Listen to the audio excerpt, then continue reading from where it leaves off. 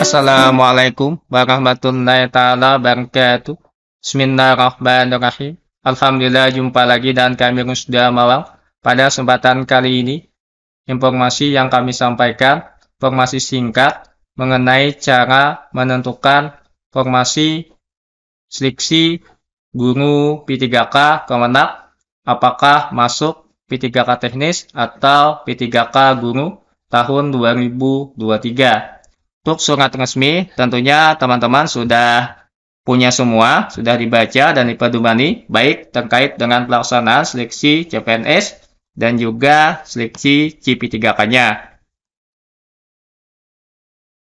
Oke, ini surat resminya. Kita kembali ke cara menentukan tadi. Kita akses teman-teman, kita kunjungi tentunya sscsn.bkn.go.id. Di sini teman-teman pada kolom pencarian sudah disediakan fasilitasnya atau menunya untuk mencari atau menentukan pilihan formasi tadi. Jika teman-teman di sini belum muncul, artinya kita tidak bisa memilih formasinya untuk lanjut pendaftaran. Karena di sini teman-teman untuk masalah formasi, kebutuhan formasi CSN tahun 2023, masing-masing instansi sebagian masih DPRPA, artinya belum selesai, masih proses. Termasuk Kementerian Agama untuk sampai saat ini masih sebagian dalam proses. Yang sudah selesai teman-teman kayaknya untuk CPNS, untuk Kementerian Agama. Nanti teman-teman silahkan dicek secara berkala tadi seperti ini caranya. Nanti kami akan praktikkan. Misal kita coba contohkan yang CPNS terlebih dahulu. Bagaimana cara menciknya? Tentunya kita sambil membuka surat pengumumannya tadi. Untuk CPNS, di sini untuk formasinya teman-teman yang tersedia cuma dosen S2 dan juga kualifikasi, kualifikasi pendidikannya S2, tidak ada S1. Jadi cara menentukannya atau mencarinya tadi di sini masukkan sesuai dengan yang disediakan di surat pengumuman IS2. Misal kita contohkan IS2 apa? Kita ambil salah satu. Misal ini IS2 ilmu komunikasi. Kita kopikan. Kita masukkan ke sini. Kita pilih. Kementeriannya tentunya diketikkan. Kementerian Agama atau kementerian lain nanti kita pilih jenisnya CPNS, kita klik cari.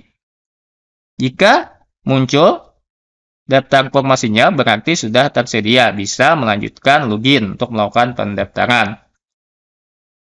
Untuk CPNS kayaknya sudah lengkap semua teman-teman. Coba kita contohkan untuk P3K. Untuk P3K teman-teman kita coba terlebih dahulu P3K guru. Kita cari P3K guru.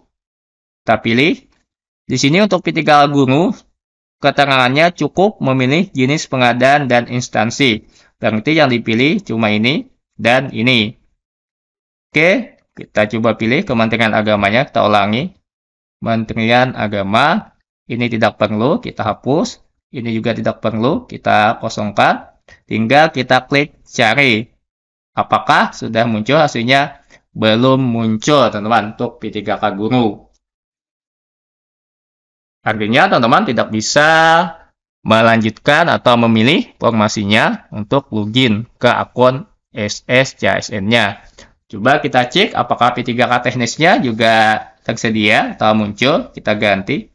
Untuk P3K teknis, di sini syaratnya harus diisi lengkap, teman-teman. Kita masukkan misal S1. Coba kita lihat tadi formasinya. Kita ambil sampel saja, contoh satu saja. Mendeteksi apakah sudah muncul.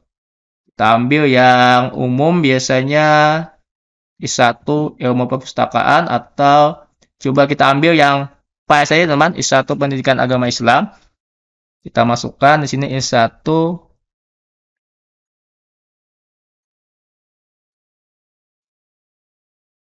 Lengkap besar teman-teman isnya I1 pendidikan agama Islam yang ini coba kita masukkan kementeriannya tentunya kita masukkan juga kementerian agama kita pilih yang teknis apakah sudah tersedia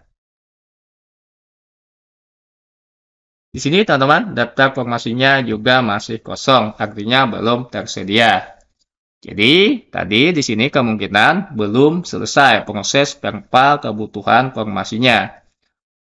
Bagi teman-teman yang belum bisa memilih formasi atau melanjutkan pendaftaran, ditunggu saja informasi selanjutnya atau dicek secara berkala di sini tadi. Caranya seperti itu apakah nanti guru masuk teknis seperti tahun lalu atau ma masuk P3K guru. Bisa nanti dicek di sini. Dan juga untuk mudahnya informasi terkait masalah CP3K ini ataupun C PNS silakan nanti diikuti Instagram dari Kementerian Agama secara resmi teman-teman. Di sini ada diinformasikan. Coba kita lihat di bagian surat pengumuman. Ini teman-teman Instagramnya. Ini resmi teman-teman. Silakan juga ada di Twitter ini Kemenak RI kita bisa langsung nanti menghubungi panitia lebih mudah biasanya teman-teman dengan Instagram yang dua ini teman-teman biasanya akan ada di update info terbaru terkait masalah seleksi CPNS atau P3K tahun anggaran 2023 ini. Saya kami sampaikan pada kesempatan singkat kali ini, mohon maaf jika ada penjelasan yang kurang tepat atau kurang pada tempatnya. Semoga teman-teman yang mengikuti seleksi P3K tahun ini berjalan dengan lancar dan sesuai harapan mudah-mudahan berhasil. Akhir kata kami sudahi dengan wabillahi taufik wa Assalamualaikum warahmatullahi taala wabarakatuh.